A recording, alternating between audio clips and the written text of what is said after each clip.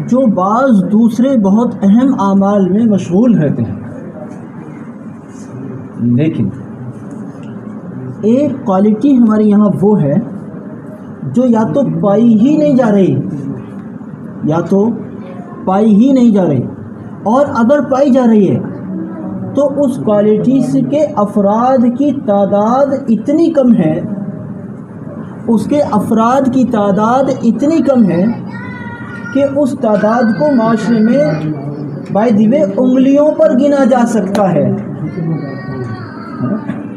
उंगलियों पर गिना जा सकता है।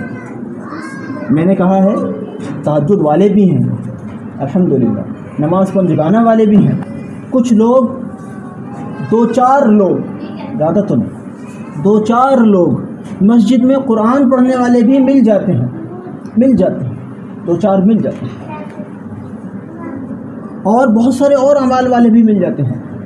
कहीं ना कहीं पैसे भी खर्च कर रहे हैं, सदक़ात और ज़क़़त की शक्ल में, हदाया और तहफ़ की शक्ल में। हमारे आपके कहने के एतबार से किसी खर्च करने की जगह पर खर्च करने के लेकिन जो एक जो बुनियादी एक क्वालिटी है, जो नहीं पाई जा रही वो क्वालिटी क्या है? वो जाकिरीन की क्वालिटी है। उम्मत तहजद पढ़ रही है उम्मत रोज़ा रख रही है, उम्मत नमाज़ पढ़ रही है, उम्मत सारे अमाल कर रही है, मगर उम्मत ज़िक्र नहीं कर रही। और मेरी बात सुनो ध्यान से। तहजद में रौनक पैदा होगी ज़िक्रुल्लाह के ज़रिए से। नमाज़ में नूर आएगा ज़िक्र के ज़रिए से। दुआओं में दम आएगा ज़िक्र के ज़रिए से। हर अमल की के अंदर अगर मज़ा लेना है किसी भी अमल का अगर मज़ा यहाँ तक कि अगर सिर्फ़ हाथ उठाकर दुआएँ करने का भी मज़ा लेना है तो ज़िक्र करना सीख लो अमाल का नूर मिल जाएगा। इंशाल्लाह। और जिन जिंदगियों के अंदर ज़िक्र नहीं होता, मैं देखता हूँ ऐसे लोग, हमार, हम, अपनी मस्जिद में तो हमारे यहाँ ऐसे एक दो चेहरे मुझे दिखाई देते हैं। जिनकी दाढ़ियाँ मैं किसी को निशाना नहीं बना रहा हूँ, इसलिए हालाँकि वो है भी नहीं यहाँ लेकिन बहरहाल मेरा मकसद न गीबत है न निशाना बनाना, लेकिन मैं एक मिसाल देना चाहता हूँ। हमारे यहाँ ऐसे लोग दिखाई देते हैं जिनकी दाढ़ियाँ सफ़ेद हो गई हैं। और मेरा गुमान ये है, वो एक ज़माने से नमाज़ पढ़ रहे होंगे। लेकिन चूँकि ज़िक्र की हवा नहीं लगी, चूँकि ज़िक्र की हवा नहीं लगी इसलिए नमाज़ की रूह तो क्या ज़िंदा होती? नमाज़ का जिसम भी ज़िंदा नहीं हुआ। तो ज़िक्र नहीं है। उन ज़िंदगियों में चूँकि ज़िक्र नज़र नहीं आता है, नतीजा ये है कि नमाज़ का बातिन ज़िंदा बाद में होता, नमाज़ का ज़ाहिर भी ज़िंदा नहीं हो सका। नमाज़ का ज़ाहिर क्या है? नमाज़ का उन आदाब व सुनन पर आ जाना, जो आदाब और सुनन उसके कुरान हदीस से हमें मालूम हुए यह है नमाज़ का ज़ाहिर। यह है नमाज़ का ज़ाहिर और नमाज़ का बातिन क्या है? नमाज़ का बातिन यह है कि जिस तरह से, माशाल्लाह हमारे साथी दावत दावत की मेहनत में निकलते हैं तो किस तरह से मेहनत करते हैं? बहुत आलीशान अल्लाह जजा खैर दे। वो मेहनत करते हैं, हाथ कहाँ बांधूँ, हाथ कैसे उठाऊँ, निगाह कहाँ रखूँ, ये है नमाज़ का ज़ाहिर। बेशक इसको बनाना ज़रूरी है। मगर ये बनाना काफ़ी नहीं है।